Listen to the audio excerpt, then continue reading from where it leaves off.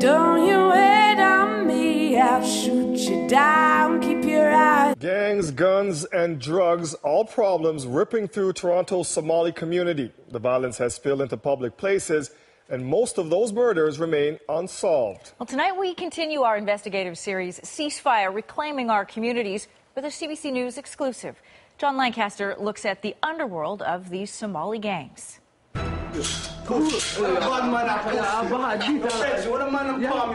It's a video you weren't supposed to see. It was seized during a Toronto police guns and gang investigation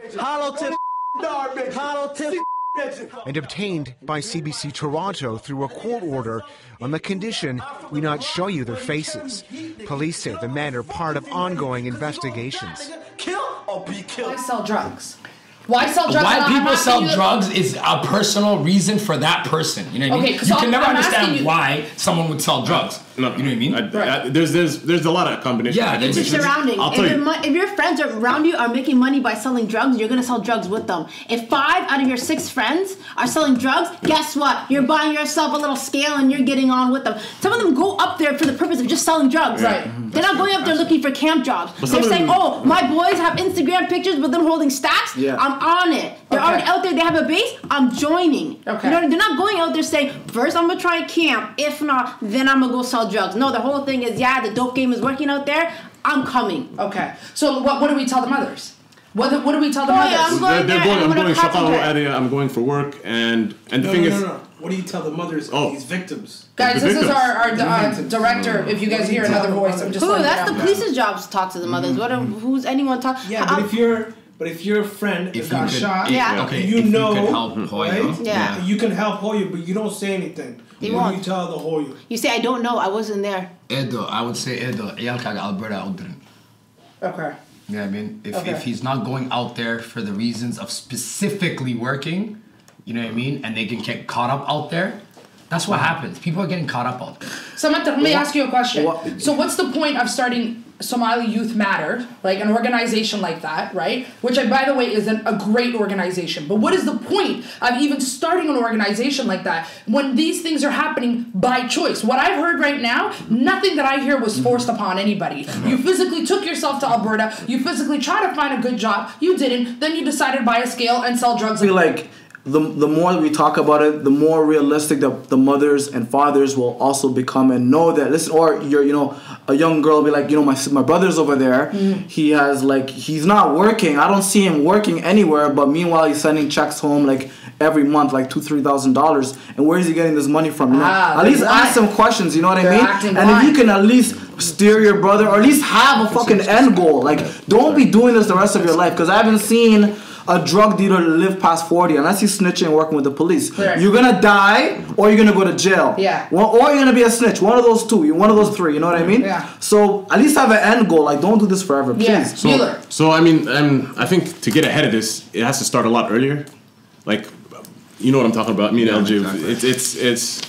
I think parents need to do a little more focus on hard work because it's shortcuts. Why do we? Why does everybody do anything? Shortcuts. Exactly. Now here, Easy cash. money. So that Exactly. there's no there's no real uh, emphasis on you know go out sweat learn something. Whose You know fault is that though? that's I mean there's no uh, you could blame the parents you could blame it is the kid's fault too at a certain age but I mean So when we blame needs to be parents, do are we are we saying can we? Can, I'm asking you a question. We can blame the parents a little bit for that, yeah. For sure. These The fathers, first of all, it's For men. sure, yeah, this yeah, is yeah. happening to Yeah, men. yeah. There's not a lot of women that are drug dealers that are Yeah. dying, right? So Yeah. we're gonna go ahead and Yeah. say that. So- we're focusing on boys and men here. Do you think having an absent father really contributes to this? yes it really does and because there, there needs to be emphasis on hard work uh, the Okay. shortcut Yeah. the shortcut avenue is what brings people to this and that's Yeah. why they start dying because they don't know the gravity of the, what they're getting into Right. so if Yeah. you don't know the because selling dope is not a, something light Right. you know what I Yeah. mean so Yeah. if Something you know easy. it's not and then but but but these people think it's normal so you get kids that think it's normal they think It's it's, the easy addy way out. so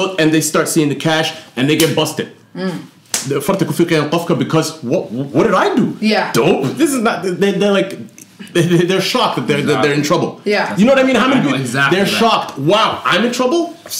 But you got What? yourself in the situation. And so and and then and they're gonna be upset that they're that they're in that situation, Right. and they're like, "Wow, the world's against me." And the, Yeah. bro, you Do you were think- selling crack cocaine, like you know what I mean? So I just want to go back real quick, uh, Queen Book. The reason why I was saying is right now, even earlier you cleared me up was because if you're if if a person is a regular citizen Mm. and they see a crime happen and they call that crime in, Right. they did their part. Yeah. But what I was saying earlier is what I don't condone was the fact that you're in the game Yeah. yeah, and you got caught. but they don't have the, they don't realize the gravity of the situation. They don't understand the gravity of They the don't know what they signed up situation, and they didn't know what they signed up for, and they're gonna be like, "Oh, I was working for this guy, and I was doing this and that." Okay, so this You is my mean? other question. then. So there's there's two separate types of you know what I mean. Uh-huh. I wouldn't call it ratting if you're you know what I mean. Uh, Yeah, yeah. Uh, uh, what do you call it? Um, a, a citizen, citizen, that yeah. was walking yeah. down. A law-abiding citizen. A law-abiding citizen sees some guy shoot somebody and says, "It was that guy, If someone kills my mom or my brother Exactly, or my cousin, right, I'm gonna snitch right away because I Exactly. do I have guns? Do I have a fucking militant movement Yeah. behind me? You know what I mean? Yeah. So you're gonna have to rely on someone who can at least you know investigate. You know what I mean? So For we talked about fathers, right? So this is happening in a household mm-hmm. where I'm gonna give you a scenario. You have a boy and a girl, okay? So you have Ayan and you have Abdi. Abdi Yeah. and Ayan come from a household where daddy walked out. Okay. Daddy decided, which is a very common story, that daddy decided to go get another wife, have a completely different life, and just disregarded them, okay? Ayan ends up going to nursing school, Right. finishes high school, finishes university, gets her uh, uh, P, um, MBA, Yeah. right? Is uh, is about to do her PhD.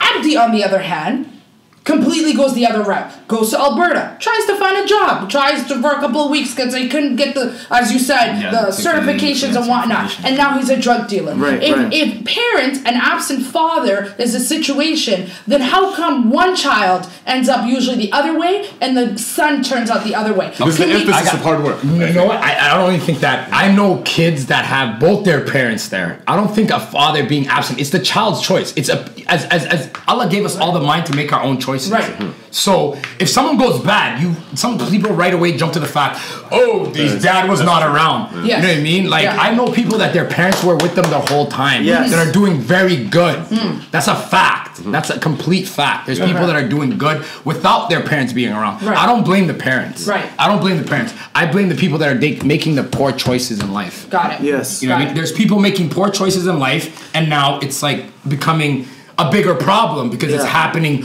over and, And over, over and again. over again. So my goal is just, just to understand some sort of solution. You know what I mean? Right. There, that you know what I mean? And that was the whole point of the what do you Somali call it? Youth The Somali Well, yo, Youth what- like I don't understand. What about cautionary tales? Nobody nobody takes that in.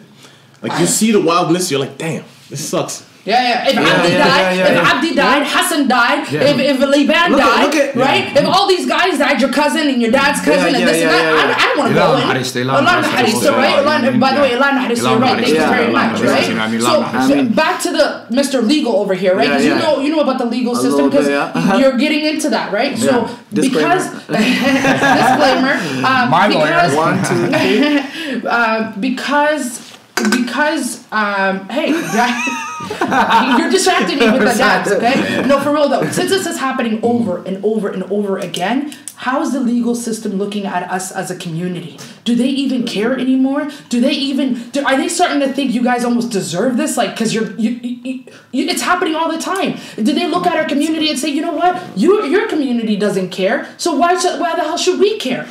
Right? Okay, when so you say how that, is- when you when you say the legal system, you're talking about police, Police. officers. I'm just. I mean, yeah. police, judges, lawyers. Like, what's what are they looking at us? How is the background end of all of this? It doesn't look good at all. looks looks really really bad. And sometimes, for example, when I was in law school, I told them I'm Somali, or I go to these conferences. They're like, "Whoa, really? You're Somali? Oh my god! You have any idea how many clients I have are fucked up and they're, you know what I mean? Mm. And like, yo, you really Somali? I'm like, thank God I'm out there. You know what I mean? But yo, it, no, it looks obviously it looks really really bad to the point where sometimes I don't even tell people I'm Somali. Like, oh my god, you know what I mean? Yeah. But it's embarrassing. But the thing is, the more you talk about it, the more you put a spotlight on something, the Yeah. more the more likely that something's gonna happen. Like people need to wake up. First of all, wake up and admit there's a problem, right? Right. So once you admit there's a problem, then you can work towards a resolution. Yeah. And there's no resolution that's gonna be binding and standing for a long time unless it's grassroots and organic from the community. So more than anything, it's back to the family. So Okay. if you have an absentee father or absentee mother, or if you sometimes you have an older brother who's just leading a really bad example, people will follow that. So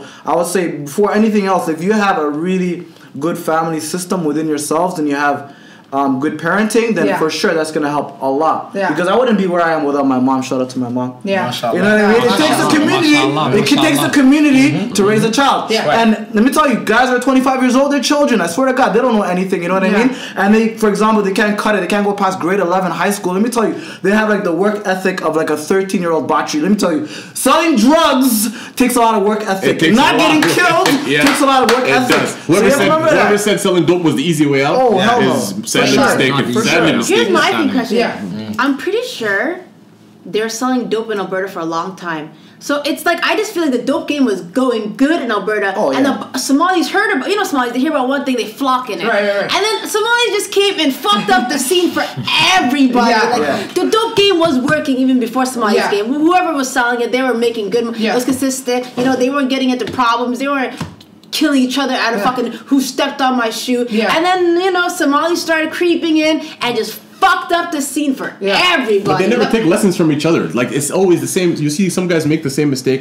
DUI, all of them drunk in a car, guns, dope, in the, in the, in the Toyota Camry, just riding around. I'm getting it. I'm riding around. I'm getting it. Riding around, I'm getting it. And they make I know the that's same known. mistake again and again in the Toyota Camry, bro. That's crazy. Speaking of that- how many how many people watched the movie Scarface and immediately after they watched the movie Scarface, they didn't mm. talk about how he got killed. They talked about how much fucking money he made. Mm. You know what I mean? They take it's like selective hearing, selective. But are they viewing, you know what I smart? But think about it. How many of them you see them selling drugs and you see them having so much money, but when it's time they get caught, they're looking for legal aid? Yeah. Like, did you not put any money aside? Did you not have an end goal? Did you not say, yo, I'm going to try to make at least 50K and then kind of turn this money around? So then the, the drug money will not last you long. Easy come, that easy go. money is Easy the most go. jinx money in the world. Yeah. You don't make it far with that money. That money, you buy something nice, guess what, bro? That Proceeds of money crime, does not look at that. it's a Yeah. So money. let me ask you Haram Are something. we, are we telling drug Throwing dealers into crime. to Have stack up their money and have up an your end goal? Or put something Yeah, for the yeah. lawyer. Open up a restaurant, man. Yeah. Open up a daycare. Do something. Okay, man. so me How many guys did you see was up one year? Was the man at the club buying bottles for everybody? Now sitting down trying to call see when legal aid's gonna come through for him. Okay, so let me ask you something. Come on How are we gonna stop this? We're not.